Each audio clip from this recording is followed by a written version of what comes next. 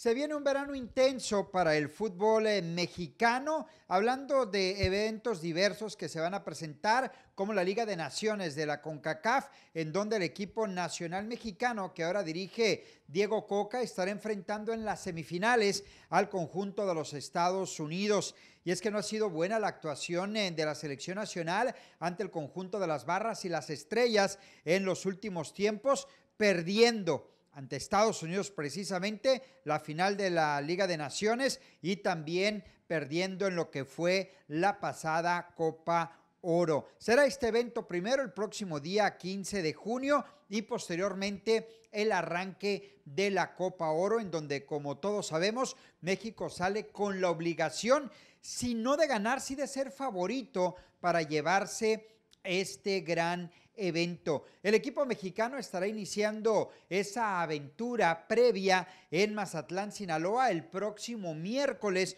cuando se enfrente a la selección de Guatemala. Tres días después, el día 10 de junio, México estará enfrentando a la selección de Camerún y posteriormente ese partido el 15 de junio ante el conjunto de los Estados Unidos. Hay bajas por parte del equipo mexicano. La última de ellas eh, se presenta con Omar Campos, jugador del Santos Laguna de Torreón, y será Salvador Reyes, Chava Reyes, quien se presente el lateral de las Águilas del América en lugar de Campos. No estará Chaquito Jiménez para estos partidos de preparación, como sí estarán algunos otros elementos como Raúl Alonso Jiménez, que no van a jugar en lo que serán ya los eventos oficiales, al igual que Jiménez, también Diego Laines estará ausente de estos eventos. México tiene que ir con mucha inteligencia, tiene que sacar lo mejor de sí en cuanto al fútbol para tratar de retomar esa grandeza que tienen con CACAF. Y atención, no tiene que ver con selección, pero León le ganó la final de la Liga de Campeones y Subcampeones de CONCACAF al mejor equipo del momento de la MLS como son Los Ángeles y con todo respeto para León, León no fue ni por mucho el mejor equipo de este torneo y con lujo de facilidad termina siendo campeón. Bien por León, bien por el fútbol mexicano en ese sentido y en lo que viene de selección nacional, pues ojalá que a partir de estos partidos amistosos, ese partido de Liga de Naciones de CONCACAF y la Copa Oro sea toda del fútbol mexicano.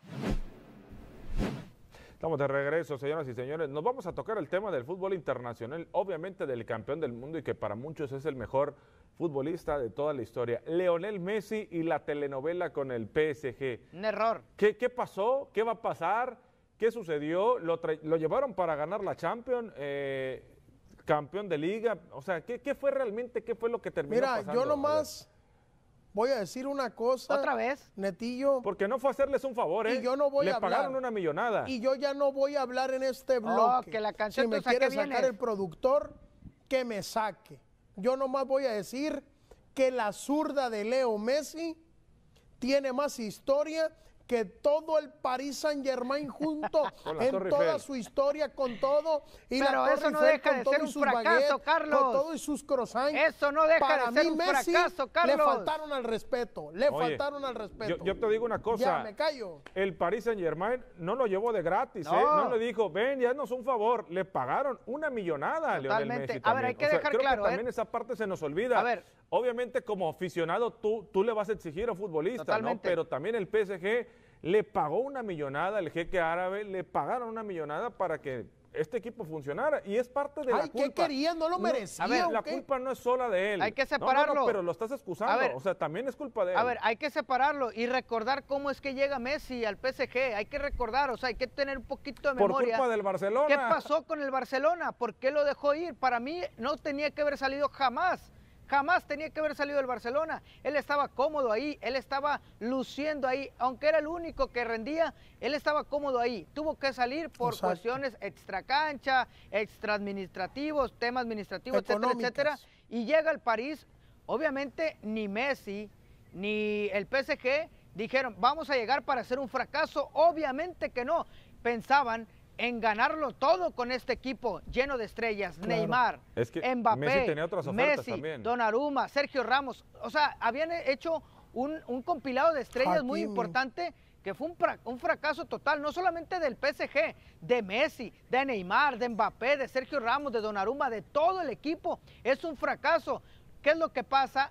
El peso específico hay más peso sobre Messi porque es el que tiene más mediático, se tiene más peso mediático, por eso en él es en el que recae todo, pero al final de cuentas el fracaso es total de todo el equipo, del director técnico, también del equipo de, táctico, del administrativo, todos, todos tienen culpa, pero, cae, pero cae sobre Messi porque es el único que pesa específicamente. el favor de llevarles una Copa del Mundo.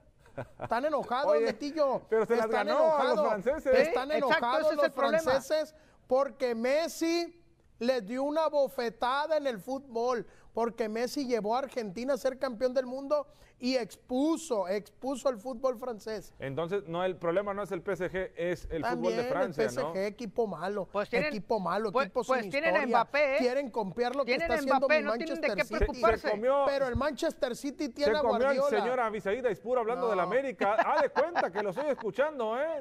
A su maestro, a Ispuro. Totalmente. Cuando habla de la América, sí se ponen igualitos. Es mi compadre, no, no, no. Qué mal estás, Carlos. Buenas noches. Señoras y señores, nos vamos, nos vamos. Buenas noches, pásala bien.